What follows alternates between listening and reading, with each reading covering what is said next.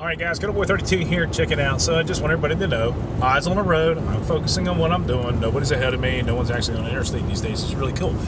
All right, so fake news. And I'm not talking about the mainstream media. I am talking about YouTube information. I'm talking about companies or organizations that we as YouTubers might get our information from. Uh, a viewer of my channel, really cool guy, uh, sent me an email with a question. Man, he, says, "Have you heard of this? You should, you know, have look into it, that kind of thing." And so uh, what I did was I opened the email, and it was a PDF, and it was a letter from Rand Paul addressed to the people, and it was uh, subject was based on the NATO Firearms Treaty Act or whatever it was. You know the thing where the NATO wants to come in here and take control of all of our guns, which will never ever happen. And guys, this thing's been around for a long, long time. So it was interesting to me that I read the letter. An organization, uh, National Organization Association of Firearms Rights, whatever it was, guy put it out. And the uh, reading into the letter, and I'm going to get to the, the, the, basis of this video here in a few minutes. I, I so here's the back the backstory. I used to work as a contractor for the U.S. government.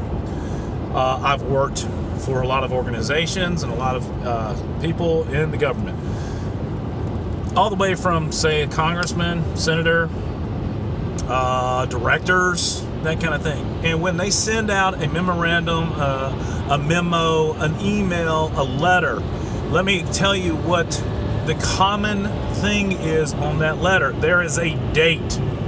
There's a date. No one signs their name to a document without a date on it. I don't care what it is, every document has a date and a signature. I sent an email out, and the email file has a date on it. Okay?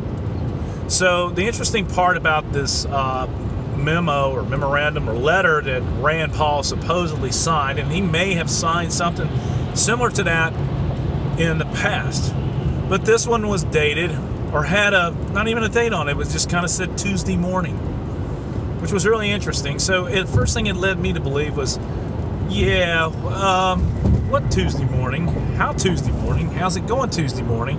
And, you know, as a YouTuber and other YouTubers, we have a responsibility to vet this information because the same organization sent out some other information about a couple weeks ago and a couple YouTubers jumped on it and it was not true. It was not factual.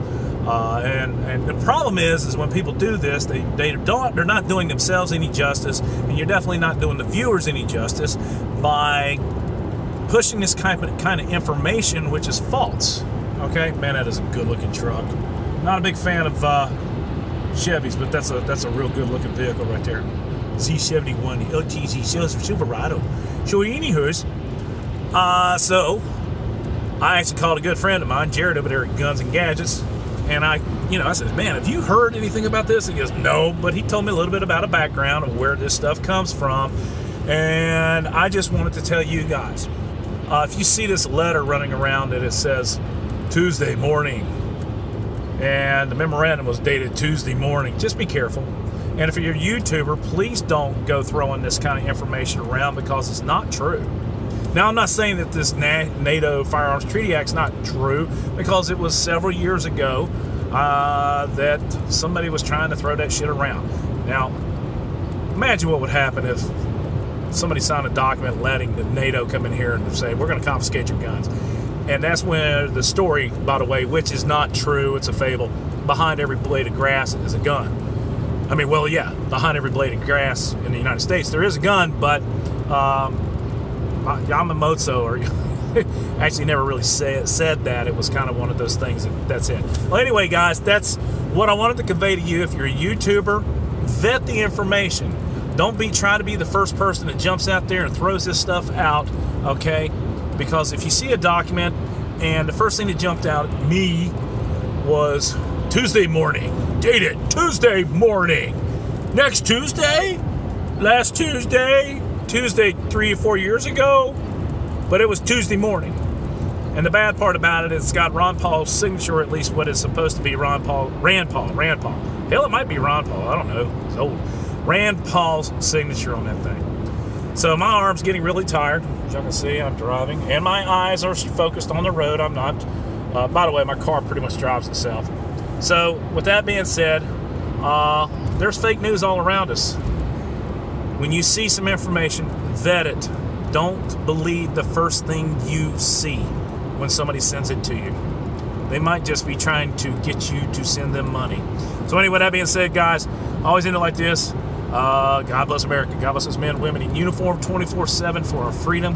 This freedom is not free, and our Constitution is written.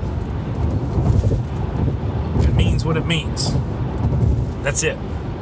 It's it's written as it is written. Yeah, you know what I'm talking about. Y'all be good. Have a great weekend.